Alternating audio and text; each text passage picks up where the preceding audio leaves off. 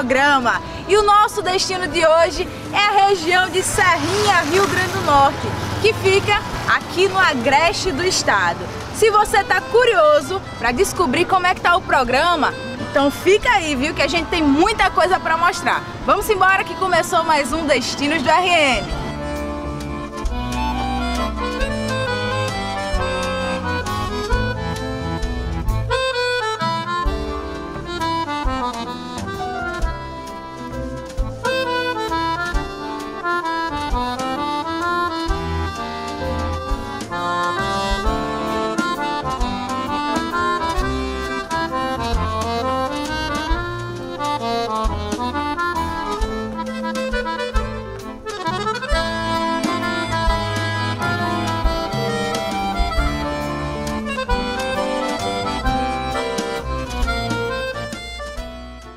E aqui em Serrinha, gente, encontrei a dona Nilde. Ela que é a criadora de cabras, não é, dona Nilde? É verdade. Tudo bem? Seja tá bem-vindo ao Destinos do RN. Muito obrigada por vocês virem aqui nesse rancho feliz, porque eu estou muito bem, muito feliz porque vocês estão aqui na minha obrigada. casa. Obrigada. No meu rancho.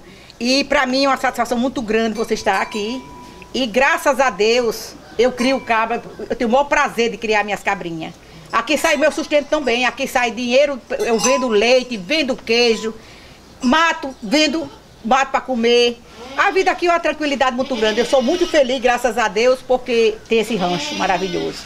E, e como é que é criar cabra aqui em Serrinha? É difícil? É difícil, é um luxo. Para mim é um luxo, porque os vizinhos, às vezes, logo no início, perturbaram muito.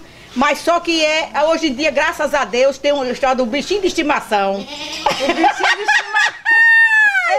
aí o bichinho de estimação são esses. Você sabe que é tudo zeladinho, então aí tudo E quantos bichinhos de estimação tem aqui? Eu acho que deve ter uns 25 bichinhos de estimação. 25 é Só muito, de bode, né? só de bode, cabra. E eu me sinto muito feliz aqui no meu quintalzinho, maravilhoso. Eu crio galinha, crio porco, crio é, os bodes, a cabra, bode, galinha, pinto novo, crio Eu tudo. vi, eu vi tudo É. isso aqui, além das plantas, né? É, que e das plantas, é, muito. porque tem, já tem jabuticaba botando, tem uva. É Exatamente. uma, uma maravilha, o inhame ramando daquele jeito que é uma benção de Deus. Agora me fala uma coisa. Criar cabra é bom, agora ter essa vista de fundo, que é a serra É um de luxo. Serrinha, é um luxo, né? É um luxo. Daqui a pouco a gente vai lá no quintal dela mostrar isso, É um gente. luxo. E eu só tenho que agradecer a Deus e vocês que vieram. Ô, coisa boa. É. Agora eu quero que a senhora fale um pouquinho sobre a produção de queijo aqui. Qual a diferença do queijo de vaca pro queijo de cabra? Porque o, o queijo de cabra, ele é, é muito assim, é muito saudável. Saudável. Ele é muito saudável, o leite de cabra é muito saudável. E o leite de gado não é saudável quanto ele é. As crianças que tem, tem criança em Santo Antônio que compra leite para criar os meninos deles, que não pode comer leite de gado de jeito nenhum. Aí vem comprar aqui o leite de cabra, para criar aí. o menininho.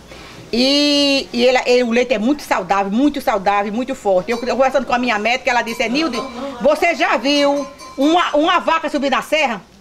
Não.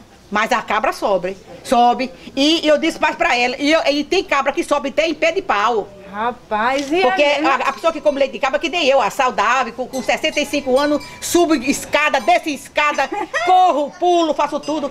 Isso é uma benção, uma coisa muito boa, leite de cabra. Agora, por falar em cabra, né, que ela sobe tudo, teve uma cabra sua que deu um pouquinho de trabalho, não foi? Deu. Ela ficou presa lá em cima da serra, Foi essa aqui, ó. aí tiveram que vir bombeiro, tudo, foi?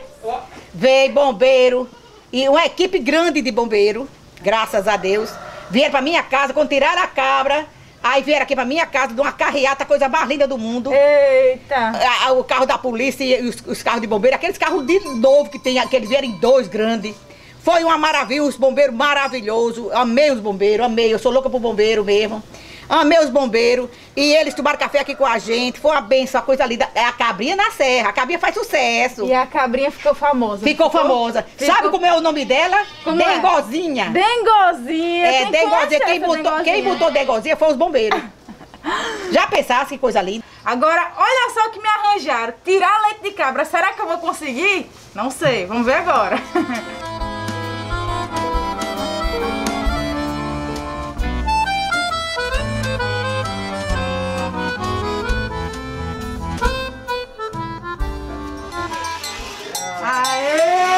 Consegui! E ela segura, rapaz, ela segura a seringa do leite. Ai. Deu certo, deu certo. Tá dando certo. Tô feliz. É verdade. Tu já tinha tirado de cabra, não? Não, só tá de bem. vaca. Só tá tirei de vaca. É, a cabra não tá achando Olha só... aí, ó. Comenta aqui, Comenta aqui. Olha aí, gente. Que espera incrível aqui em Serrinha, tirando leite de cabra. E o negócio deu certo, viu? Olha, gente, eu não sei se o leite da cabra é melhor que o da vaca. Vou experimentar agora. É bom, é ótimo. Uma delícia. Adorei.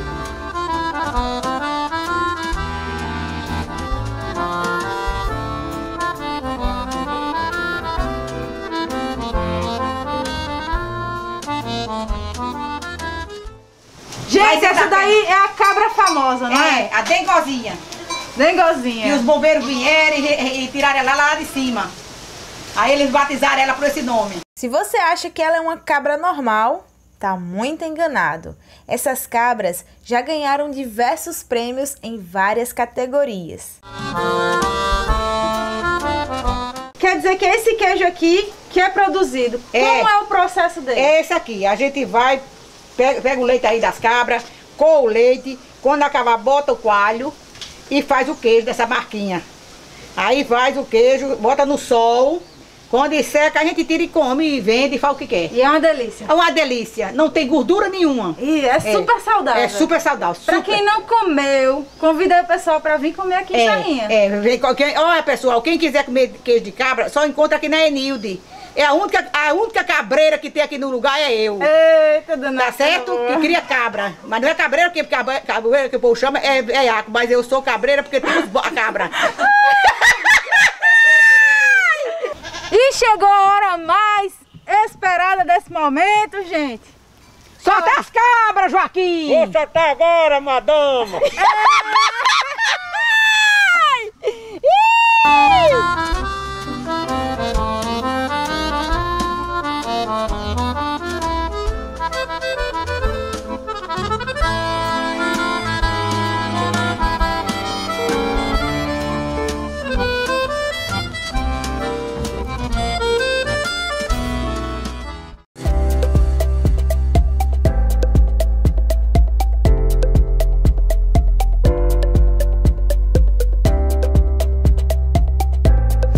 Conforto e qualidade no atendimento você só encontra aqui, na Cirúrgica Bezerra.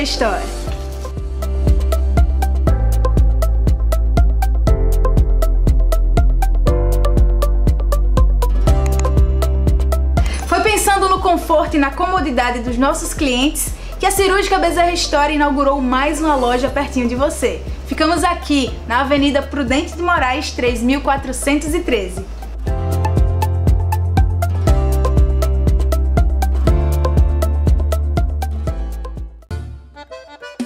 Acesse o site www.estilosertão.story e confira a nova coleção na nossa loja virtual e descubra o seu estilo. Estilo Sertão, do seu jeito.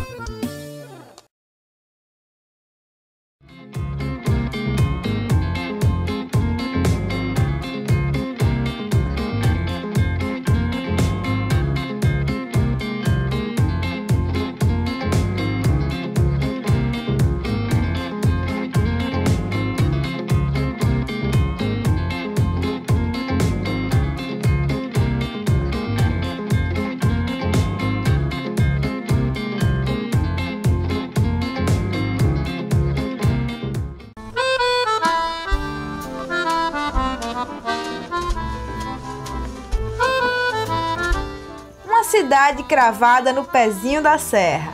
Serrinha é um município brasileiro no estado do Rio Grande do Norte. E em cada lugar nos surpreendemos com tantos cenários lindos em cada cantinho.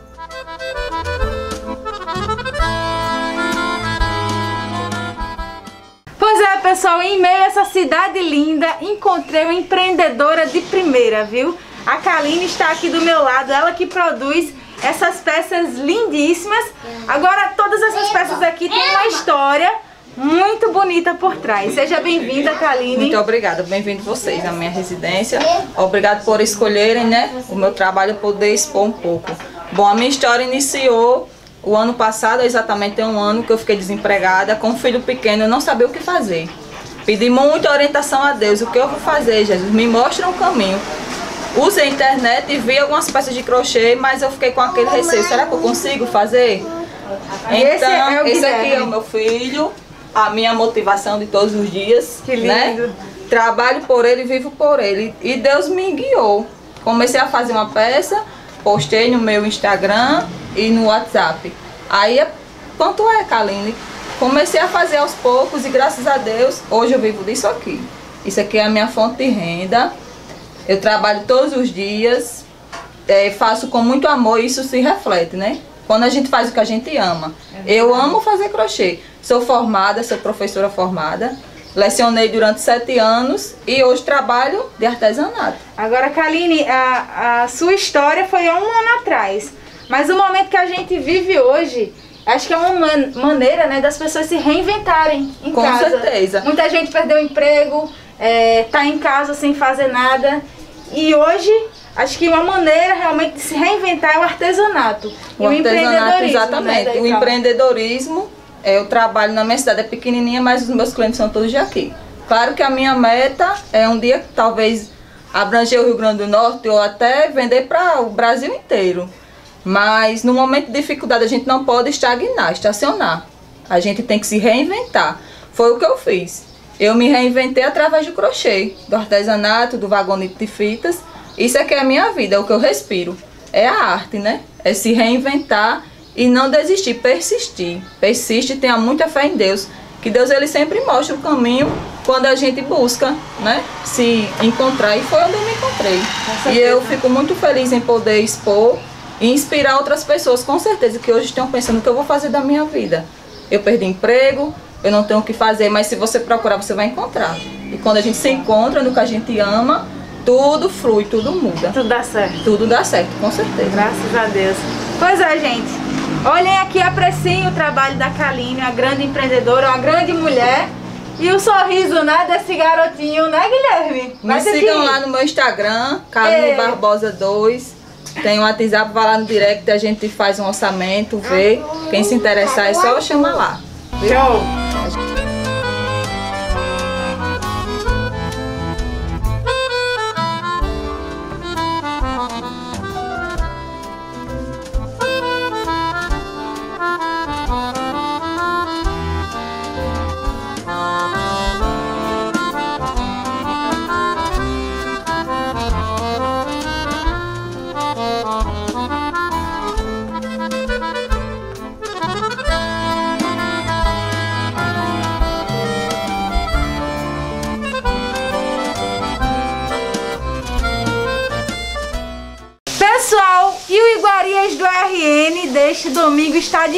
Diferente, viu? Hoje viemos conhecer a tilápia, a famosa tilápia da dona Marinete. E aí, é gostosa mesmo? É, todo mundo gosta. Todo mundo gosta? Todo mundo. Tem gente que vem de fora Vem. pra comer aqui. Vem de Lagoa Salgada. Olha vem aí. de Lagoa de Pedra. Vem de muita, até de Monte Alegre vem. E é. De aqui, Santo Antônio. Não, aquele acolá como é dá? De Boa Saúde. Não, Vem de muita gente, vem de muito canto comer esse peixe. Agora me diga aí. leva. Gosto da farofa de massa que eu faço. Uns vêm comprar de quilo para levar. É. Chega, chega, eu tô com a barriga aqui roncando, viu? Agora eu quero que a senhora me fale qual o segredo de deixar um peixe tão gostoso. Vou lhe explicar. O peixe, o óleo tem que cobrir quase o peixe. Tem que cobrir quase o peixe. Depois de ele bem fritado, a pessoa tira, enxuga no papel toalha, bota na vazia, aí cobre com coentro verde, cebola, tomate e água com limão. Passa o limão por cima pra dar o. o Fica a primeira. É, aí enrola com papel toalha e abafa e pronto. Ah, mas essa, essa delícia vocês vão ver agora a dona Marinete preparando. Não é isso? É. Vamos lá? Vamos. Botar a mão na massa, vamos embora. Passar na farinha de mandioca. É, na farinha de mandioca. Pra lá, pra cá. Pra que serve a farinha? Pra enxugar, né? Pra assar, pra ele não pegar. Ele não pegar na frigideira. Ele não pegar na frigideira. E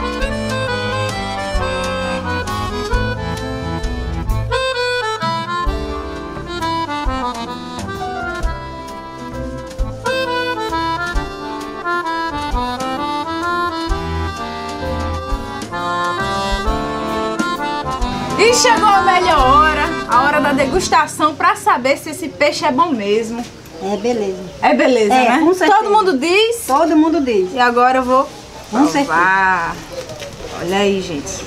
Bem crocante. Vai puxando que ele vem. Aê!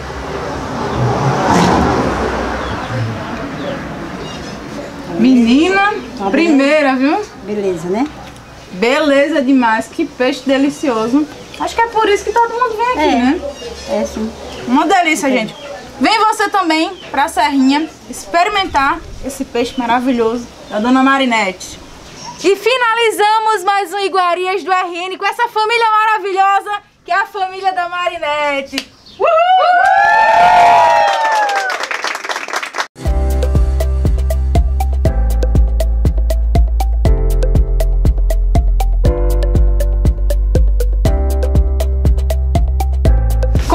qualidade no atendimento você só encontra aqui, na Cirúrgica Bezerra História.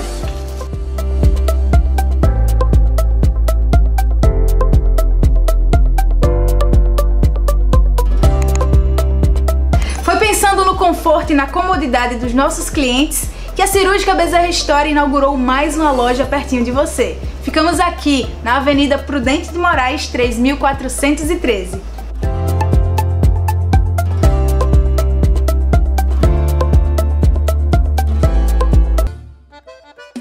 Acesse o site www.estilosertão.store e confira a nova coleção na nossa loja virtual e descubra o seu estilo. Estilo Sertão, do seu jeito. Aqui em Serrinha é um celeiro de artistas, né? E vamos falar aqui com a Maria Borges, tão conhecida aqui na região, que faz essas coisas lindas, né, gente? É confecção de coxas, de cortina. Quantos anos de história você tem na costura? Foi desde 2018. Desde 2018? Isso. Você nunca tinha se interessado por costura? não, não, não. Nunca nem tinha pegado na máquina? Não, não. 2018 você iniciou. Foi, foi. Aí já iniciou assim com peças grandes ou foi devagarzinho? Devagarinho. Comecei com uns tapetezinhos de, de tirinha. Aí passou pros grandes. Isso aqui é pra você, amor. Olha só que lindo, gente, essa Abre. peça, olha. De fuxico. A Maria Borges que faz. Peça riquíssima. Dá pra ver os detalhes. É com muito amor, É. muito carinho e dedicação. É verdade. Olha só, meu povo, onde nós estamos, no pé da Serra de Serrinha e ao meu lado o Zé Carlos do acordeon. Esse menino aqui vai fazer um forró arretado pra gente hoje, não é isso, Zé Carlos? Isso mesmo, vai ser show de bola. Vai ser show Chama no bola. balanço. Chama no balanço, é assim, é? Minha frase. Opa! e a gente vai lá pra cima. Vamos embora? Bora. Você vem junto com a gente. Vamos lá.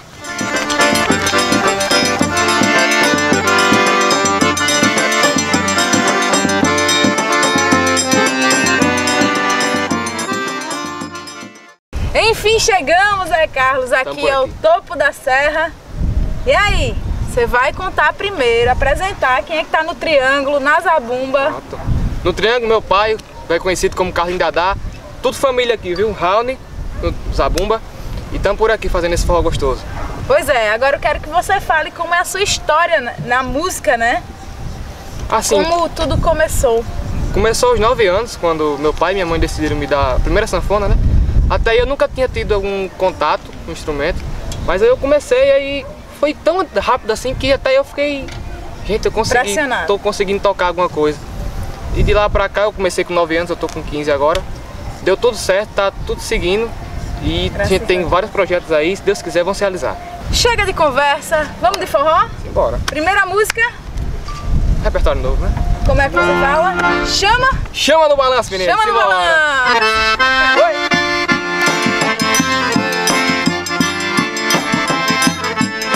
Estilo